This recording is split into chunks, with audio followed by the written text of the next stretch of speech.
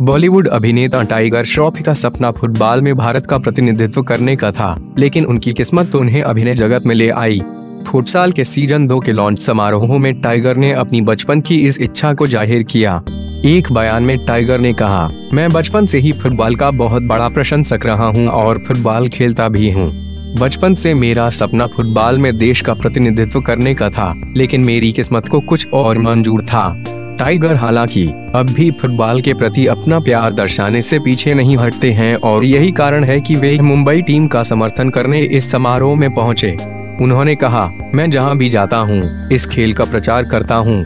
मेरा मानना है कि इस फुटबॉल को बढ़ावा देने की ज़रूरत है क्योंकि हमारे देश में कई प्रतिभाएँ छुपी हुई हैं। टाइगर ने लॉन्च समारोह के दौरान पुर्तगाल के स्टार खिलाड़ी क्रिस्टियानो रोनाल्डो की बायोपिक में भी काम करने की इच्छा ज़ाहिर की